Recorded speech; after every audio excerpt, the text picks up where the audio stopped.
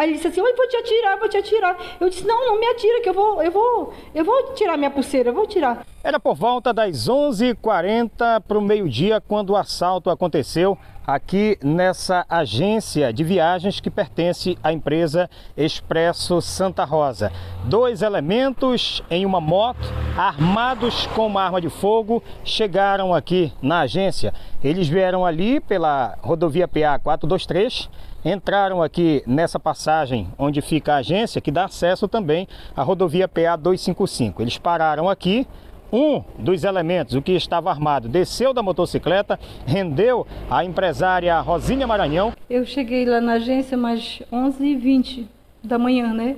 Aí chegou dois clientes. Um foi o Rodrigo, filho do Alci, que eu entreguei uma encomenda para ele.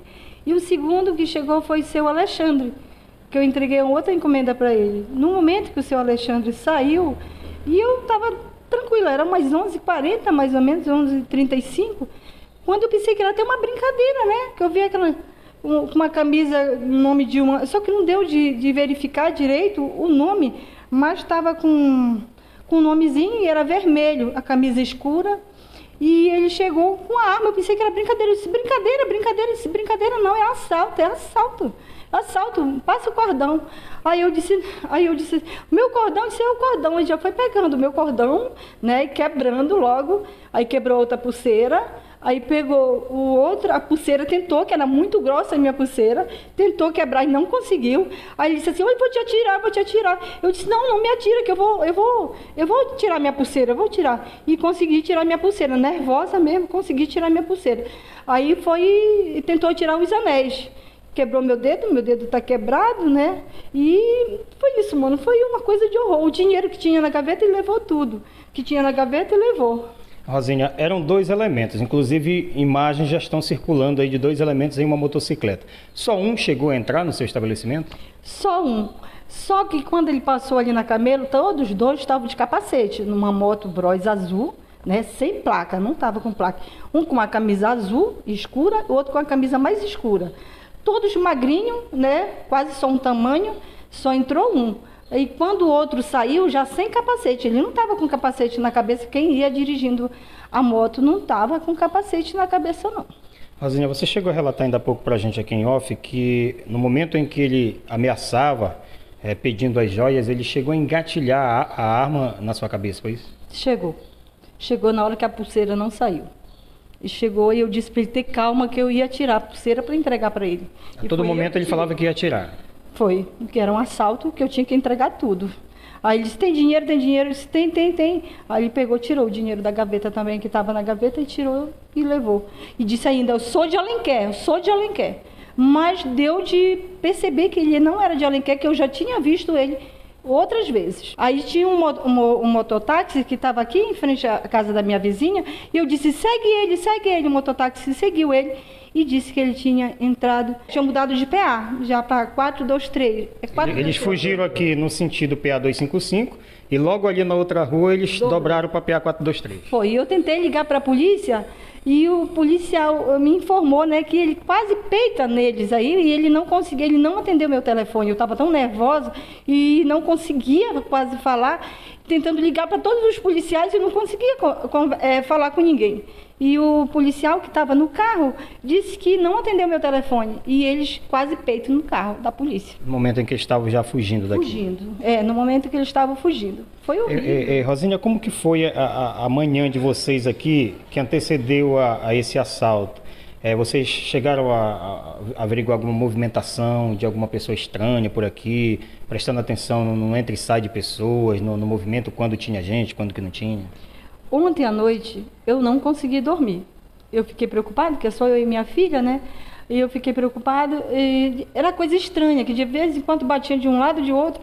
Eu dizia, minha filha, eu vou levantar. Eu levantava e vi o cachorro latir, ia lá fora, voltava. Liguei para o rapaz que faz aqui a, segurança. a segurança. Liguei para ele uma vez, mano, verifica a minha casa, que tem algo estranho na minha casa, desde ontem à noite. Isso estava, eu já estava suspeitando de alguém se aproximar da minha casa, entrar na minha casa. Eu passei a noite sem dormir. Já fui dar um cochilo já umas 5 horas da manhã. Então provavelmente eles já, já estavam tentando entrar aqui ontem à noite mesmo E aí, como não conseguiram, resolveram voltar hoje no momento que você se encontrava sozinha. Foi, porque quando eu fui para a agência já foi 11, 11 20, mais ou menos isso, a, a, 11 20 que eu entrei na agência, entendeu? Você consegue, Rosinha, dar uma definição de altura, de cor desse rapaz que, que chegou a entrar no seu estabelecimento? Eles são magrinhos, todos dois são magrinhos, assim, quase a mesma altura, entendeu? Mas o que entrou para me assaltar, eu já vi ele várias vezes, eu já vi e eu só não sei de nome, mas se eles pegarem, eu, eu vou reconhecer sim. Eu vou reconhecer. Quando ele viu que eu reconheci ele, ele fechou a viseira do, do, do, do capacete e disse, sou de Alenquer, sou de Alenquer. Mas eu, eu conheço, eu já vi ele outras vezes. Você já conseguiu calcular mais ou menos o seu prejuízo? Quanto em joias e em dinheiro que esses elementos levaram? De joias, mais ou menos uns 52 mil, 53 mil de joias. Mais de 100 e, 135, 140 gramas de ouro. Prejuízo bem grande. Dinheiro eu não sei, porque tinha um pacote de dinheiro que estava aí, eu levei para lá e esse dinheiro foi tudo, eu não sei a quantidade de dinheiro, mas não era muito não. Não era muito dinheiro não. O Serviço de Inteligência da Polícia Militar está em campo na tentativa de prender esses dois elementos que cometeram esse assalto. Então, né, logo que aconteceu o fato, é, a gente foi acionado. Estávamos na rua, né? Uma guarnição da, da Polícia Militar quase que se bate de frente com, com os dois envolvidos né, nesse, nesse, nesse, nessa situação. É, fizemos várias diligências pela manhã, no mesmo momento que aconteceu esse fato, fizemos várias diligências, incursões, mas no momento sem êxito, né? Já sabemos mais ou menos, mais ou menos quem é um dos, dos infratores aí, a senhora vítima, ela reconheceu um. Temos algumas imagens né, da, dos pontos comerciais, das proximidades. E a Polícia Militar não cessou as diligências ainda. Né? A gente continua atrás aí, tem as guarnições estão envolvidas, estão empenhadas aí na, em busca ver se consegue é, locrar êxito né, na captura desses infratores. E possivelmente ainda hoje, se tudo der certo, a gente vai conseguir é, colocar as mãos neles e, e apresentar na Polícia Civil para que seja feito o procedimento cabível. Segundo a Polícia Militar, pelo menos um desses dois elementos é daqui do município de Monte Alegre. Possivelmente é, um seja daqui e o outro a gente não tem informação, mas um é, quase que 100% é da cidade de Monte Alegre, né?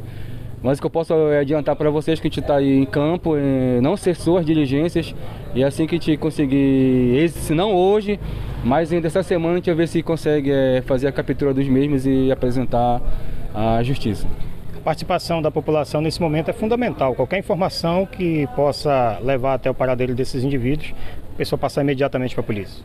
Não, com certeza. A população tem sido uma grande parceria com a gente, né? assim como a imprensa. E a gente está aqui, o telefone está aqui, pode ligar, qualquer informação. É, vamos estar diligenciando guarnições para averiguar. É a gente pede encarecidamente que a população, né? É, hoje foi essa senhora, e pode ser, podia ser com outra pessoa, com outro comércio, né? com outro empresário, com um cidadão comum. Então a gente pede encarecidamente que a população também ajude a Polícia Militar, somando né, essa parceria, população e, e Polícia Militar, a gente vai conseguir é, afastar esse mal aqui da sociedade monte alegrense.